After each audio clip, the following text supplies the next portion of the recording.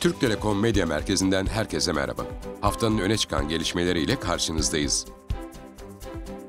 Geleceğin de senin gibi ışıldasın mottosuyla başlatılan Türk Telekom Start programının değerlendirme aşamalarını ve mülakatları başarıyla tamamlayan adaylar, Türk Telekom'da kariyerlerine start verdiler.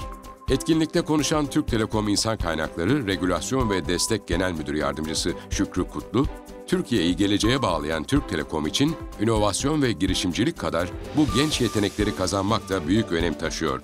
Geleceğin liderlerini yetiştirme vizyonumuzla Start programımız kapsamında 72 genç arkadaşımızı Türk Telekom ailesine katmanın mutluluğunu yaşıyoruz dedi.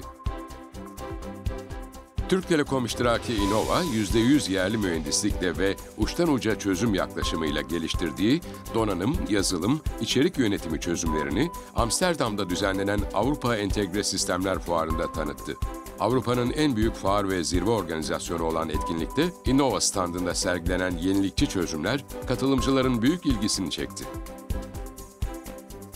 Türk Telekom'dan kablosuz geniş bant teknolojilerinde bir ilk. Türk Telekom, ev ve iş yerlerine kablosuz teknolojiyle fiber hızında sabit internet imkanı sağlayan Wireless PON çözümünü Türkiye'de deneyen ilk operatör oldu. Bu çözümün üniversite, hastane ve havalimanı gibi büyük yerleşkeler için sunulan fiber internet hizmet alanını daha da genişletmesi bekleniyor.